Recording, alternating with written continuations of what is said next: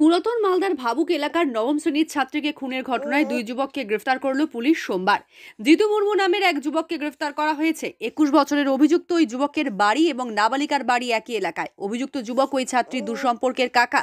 তাকে জিজ্ঞাসাবাদ করে মঙ্গলবার আরও এক যুবককে গ্রেফতার করা হয়। গতকাল রাতে বিশনপুরের পার্শ্ববর্তী শ্রীরামপুর থেকে জুয়েল মার্ডিকে গ্রেফতার করে পুলিশ। জানা গিয়েছে, গত বৃহস্পতিবার সন্ধে নাগাদ পুরাতন মালদা ব্লকের ভাবুক অঞ্চলের বিশনপুর এলাকার পরিত্যক্ত ইটভাটা থেকে নবম শ্রেণির স্কুল ছাত্রীর রক্তাক্ত মৃতদেহ উদ্ধার হয়।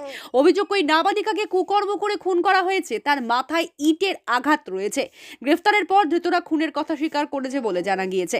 গতকাল জিতু মুর্মুকে হেফাজতে নিয়েছে পুলিশ। আজ ধৃত জুয়েল মার্ডিকে হেফাজতে নেওয়ার আবেদন জানিয়ে মালদা আদালতে পাঠানো হয়েছে। তুমি ছিলা সাথে? ওর সাথে ছিলাম। ছিলা? হ্যাঁ।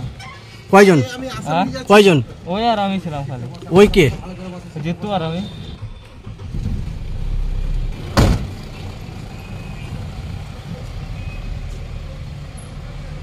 কি